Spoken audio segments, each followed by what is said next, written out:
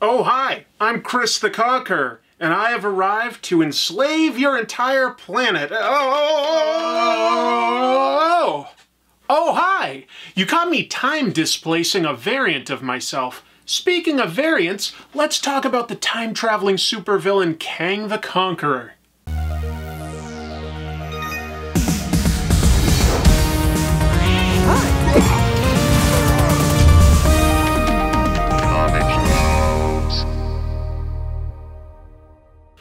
Welcome to Comic Tropes. I'm your host, Chris.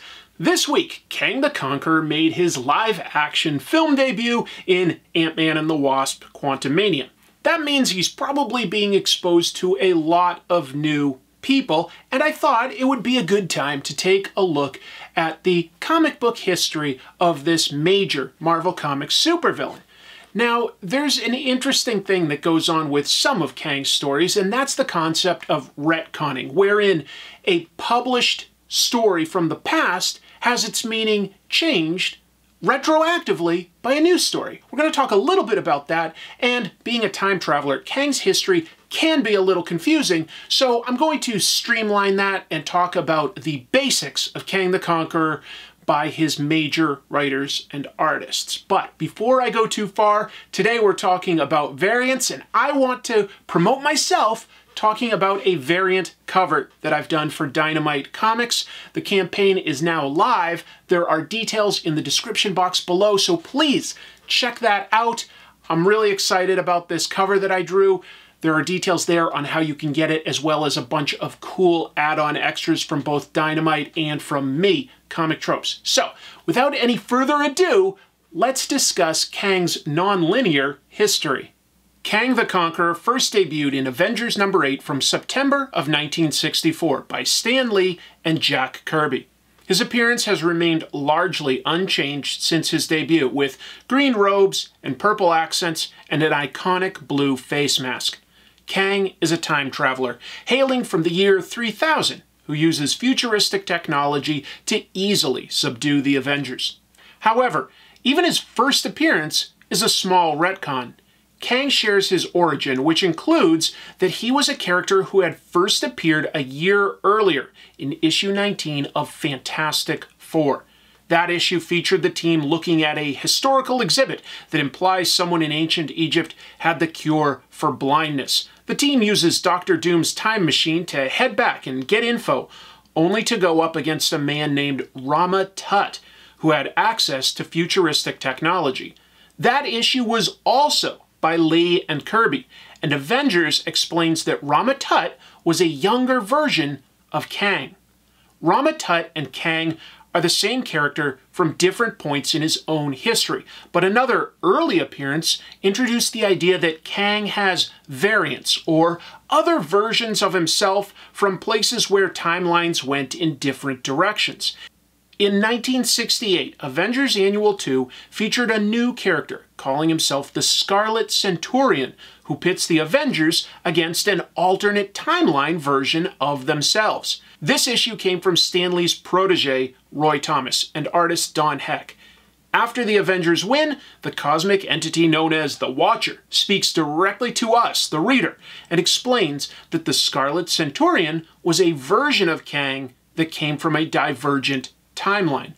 Other important storylines at this point in time include a 1965 story where Kang falls in love with one of his subjects, Ravona, who is injured and placed in stasis. The Marvel Cinematic Universe has now given us a Kang with the same origin, costume, and abilities in Ant-Man and the Wasp Quantumania that's featured in the comics. They've also explored the idea of variants and divergent timelines in their show Loki, where the main character met a variant they called He Who Remains.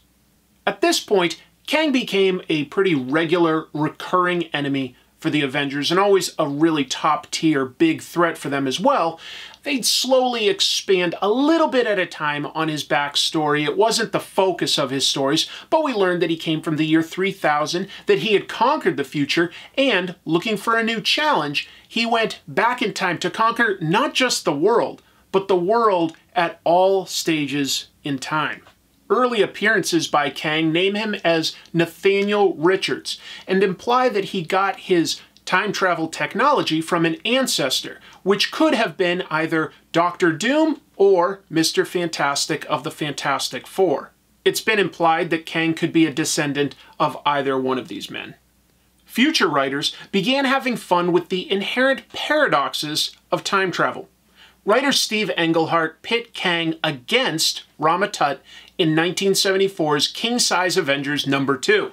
That issue saw Kang kill one of the Avengers, the Swordsman. It also developed Kang's goal of finding a mate so that he could have an heir, as he was after the Avengers member Mantis. The following year, Englehart had Kang go up against Rama Tut and Immortus. Immortus was another Stan Lee and Jack Kirby creation from Avengers issue 11, sandwiched between appearances by Kang and who had the bizarre ability to summon both historical and mythical figures to aid him.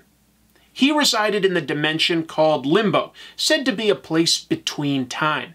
In issue 3 of Giant Size Avengers, Englehart retconned Kang and Immortus' history to explain that Immortus was the future version of Kang, a more benevolent version who had stopped his dreams of conquest. The idea of variants of Kang was taken to its extreme by writer Roger Stern and artist John Buscema in issue 269 of Avengers from 1986. In that story, Kang is hunting down and killing his variants. It introduces the concept of a council of Kangs, as well as ending with the reveal that Immortus was manipulating Kang into killing his variants to keep a streamlined timeline. However, Kang survived, and a massive cross-time Council of Kangs was seen in issue 292 from 1988. That image was even directly adapted into the Ant-Man movie. Immortus, being a future version of Kang, is definitely the biggest retcon to Kang's history. But Kang had variants. He had Rama Tut, Scarlet Centurion, now Immortus. It really opened up the door for what future writers could do. The idea of retconning in comics is an interesting one because it can go wrong. It can bog a story down in needless continuity and confuse a reader. But it can also, from time to time, open up exciting new ideas. There aren't many storytelling mediums that have lasted as long as comic books, telling one continuous, ongoing story. So retcons are definitely more prevalent in comic books than you're likely to find in other storytelling mediums. Some big retcon examples include The Flash introducing the multiverse in the Silver Age. That was a retcon that there was more than one universe with The Flash.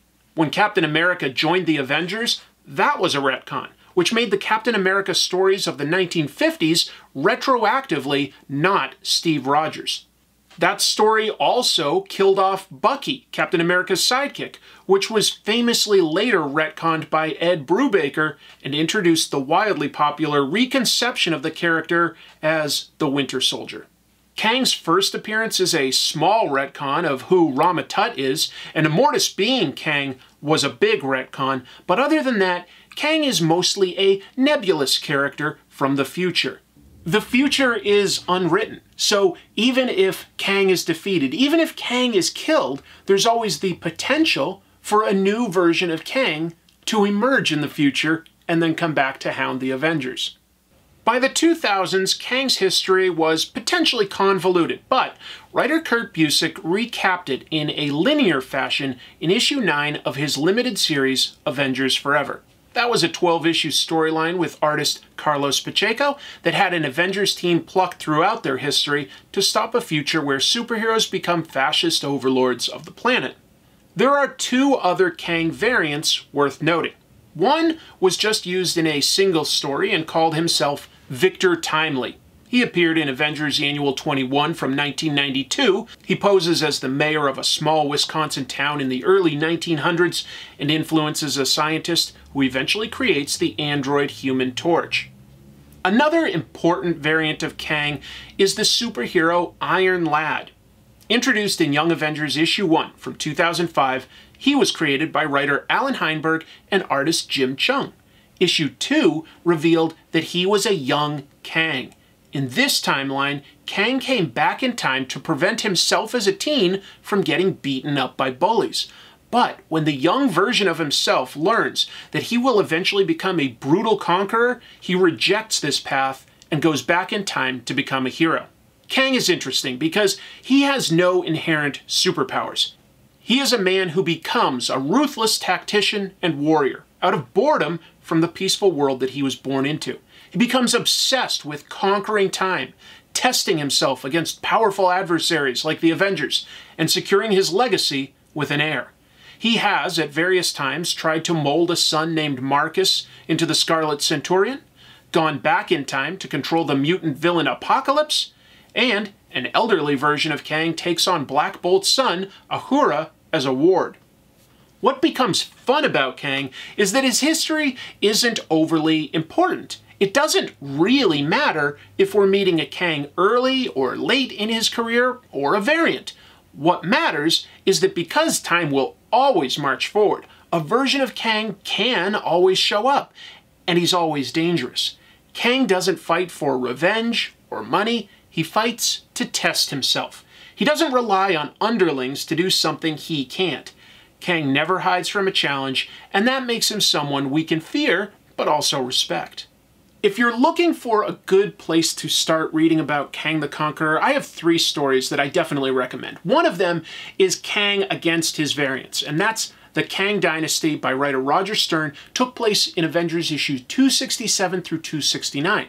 Another great Kang story where he actually wins, and we get to see the implications of what does Kang do once he's conquered the world and conquered the Avengers? Takes place in Avengers Volume 3, issues 41 through 54. That was by writer Kurt Busiek. And another fantastic jumping on point, the main one that I'd recommend starting with if you don't know Kang the Conqueror, is also by Kurt Busiek. That's Avengers Forever. A 12 issue stories, tells a complete story, then it's done issue 9 really streamlines his history. So, those are the places I'd recommend starting. But I'd also be curious to hear from you. A, if you have a favorite Kang story, please share that in the comments below. And B, do you have a favorite retcon of a character where they changed something important? One thing I find very impressive about Kang the Conqueror is he's been remarkably consistent when you factor in the fact that, as a serialized character that's owned by a company, he's been written by a lot of different people, but they've treated him very consistently and respectfully for the most part. We've got people like Stan Lee, Kurt Busiek, Roger Stern, a lot of different people writing Kang the Conqueror, and yet there's definitely a clear vision of who he is that's consistent across these stories. Thanks so much for watching, and please, again, I really would love it if you'd check the link in the description below to check out my campaign to get my cover for Vampirella. Thanks to Dynamite, thank you for watching, thanks to my patrons for making this happen. I'm going to see you next week with a very exciting episode. Very, very excited to talk about this artist. And until I see you next time, keep reading comics.